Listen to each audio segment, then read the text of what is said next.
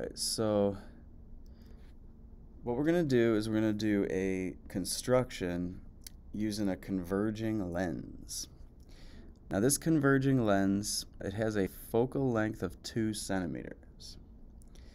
We also want an object placed 4 centimeters in front of the lens.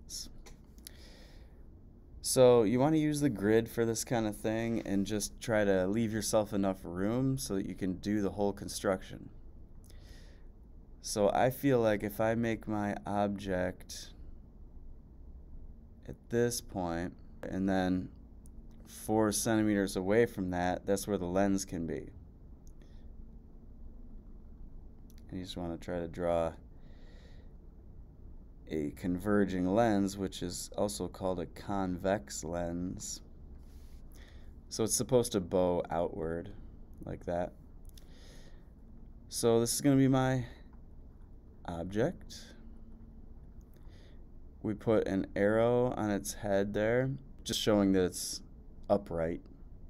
Okay, so it's called upright as opposed to inverted or upside down. Now it's four centimeters in front of the lens. Now this is the front, the left side. That's the convention that I'll use when I do these constructions. And that makes the other side the back or behind the lens.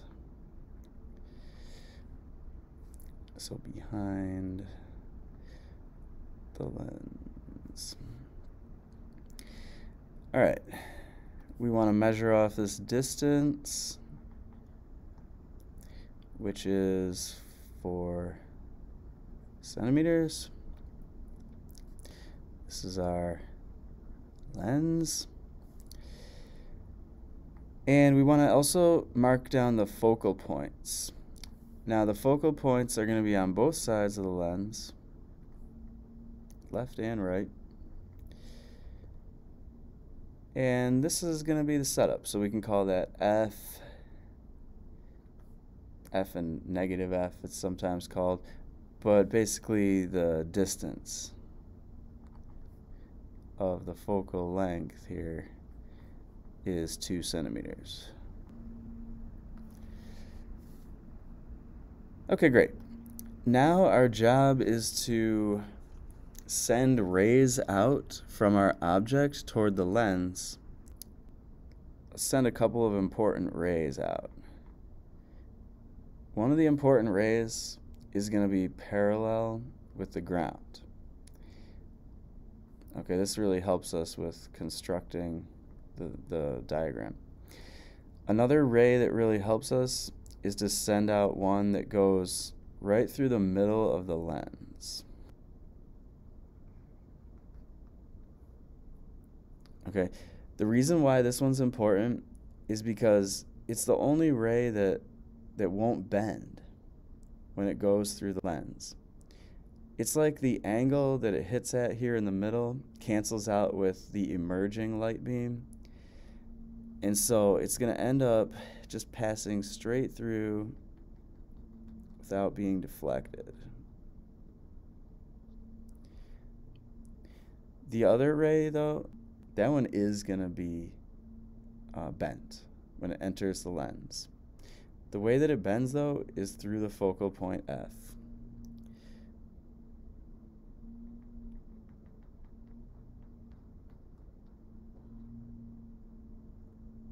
Now, how did I know it would bend through the focal point F? Because, as you can see in the picture uh, here, rays which come in parallel to the ground will all bend through the focal point. So that's how I knew that. There's also a picture of it up here. So now what you want to do is you want to actually see where your two rays intersect, where they meet on the other side, right? So it looks to me like they're converging right here. So what I want to draw then is going to be the image. And you, you start on the horizontal principal axis there. This is the, yeah, principal axis. You start there and then just draw an arrow to the point where they converge. And that guy is going to be called the image.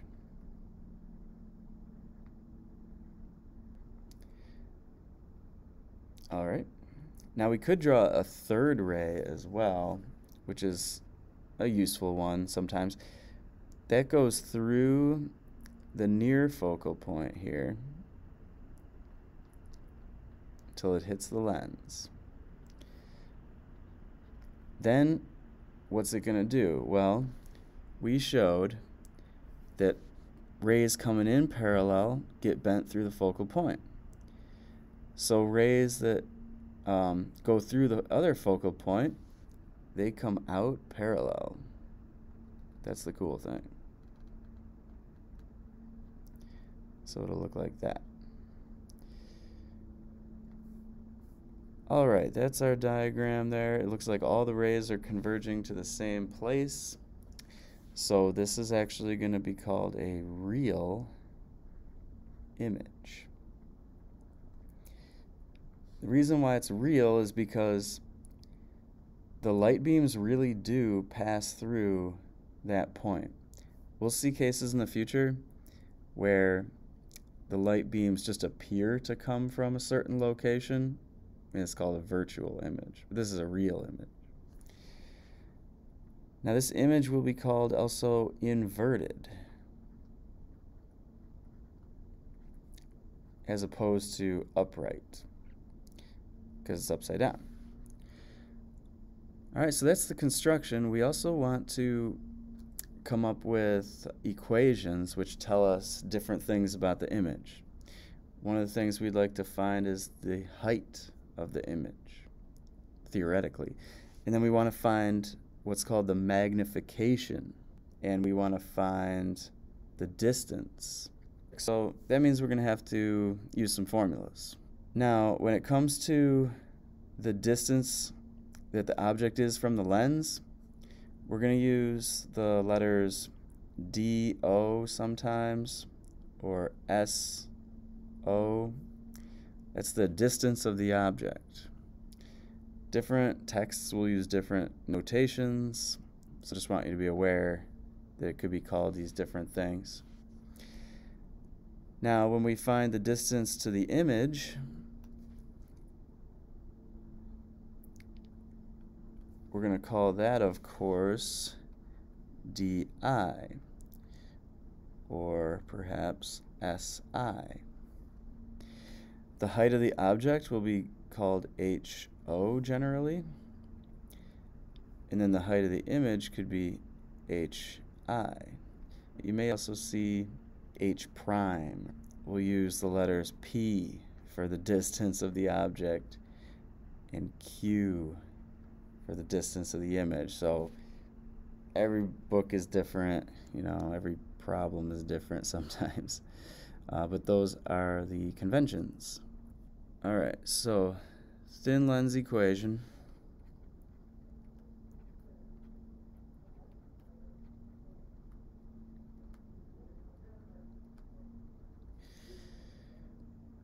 is going to be 1 over S O plus 1 over Si equals 1 over F. You might also see it as 1 over dO plus 1 over di equals 1 over F. All right, so we want to plug in and solve.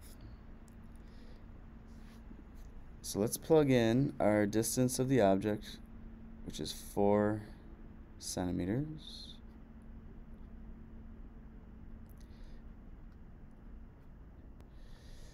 And then we have to plug in the focal length of 2 centimeters. So hopefully we can theoretically find where this image should be located with this formula. All right. So this tells us that the distance distance of the image is 4 centimeters. So what you find with the mathematics should agree uh, with your diagram. And it looks like in our case it does. One of the next things to find would be the magnification. And you can see above there's a formula for that. It's going to be uh, either the height of the image over the height of the object, or we could do negative distance of image over distance of object. Now I'm going to use the second formula.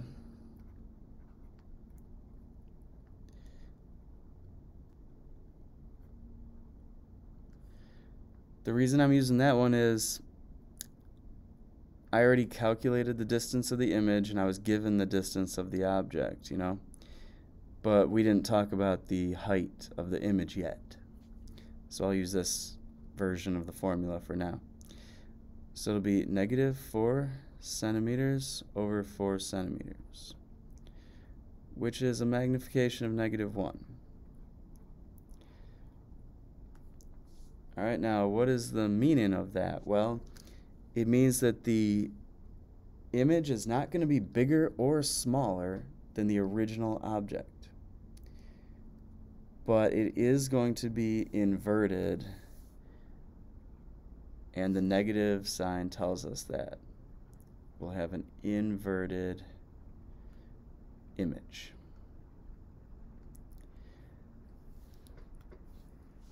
We'll find the height of the image using this formula. And if we rearrange it, we would find that the height of the image is going to be the magnification times the height of the object. So see, that's how the magnification is used. It can either scale up or scale down uh, the object's height to get your new image height. Let's plug in